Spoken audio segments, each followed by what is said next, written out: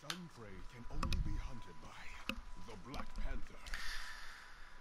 Hello, Mr. So-and-so here again. So I had a short video um, on a trophy problem and I took that down and therefore you get a new video. So something seems off with the trophies.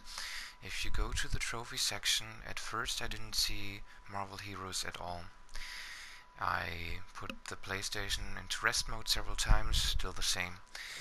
You could see your trophies if you checked the game icon on the dashboard and push down and then you can there you could click on the trophies so that worked um, meanwhile I completely powered off the PlayStation booted it up again and now the game is showing again in the trophy list but it's not updating anymore for some reason. So um, I played the game obviously today I'm playing in this very moment.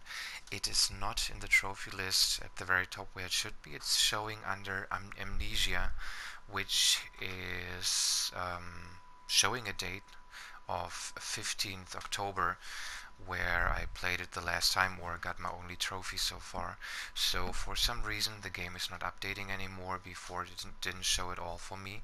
So I don't know if they can actually, if they completely erase the game from existence, if they will also remove the trophies, but for some reason this is the only time that the trophy list is not updating for a game for me if there aren't any other problems. So there might be a general problem, but other games do show in the correct order, not Marvel Heroes anymore. I will post the um, picture links in the video description, and if you have any questions, just post them in the comments. I will keep you updated as soon as we get new info.